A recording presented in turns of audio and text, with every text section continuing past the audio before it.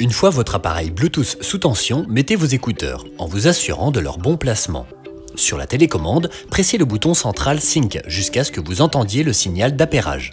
Premièrement, vous verrez que le module est allumé grâce au statut lumineux de la batterie.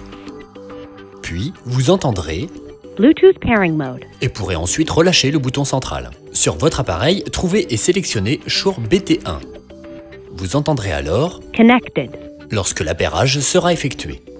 Vous pouvez répéter ce procédé pour connecter des appareils supplémentaires. Afin de connecter vos écouteurs à votre ordinateur, vous pouvez consulter le guide en ligne. Cela demandera peut-être une mise à jour des drivers de ce dernier.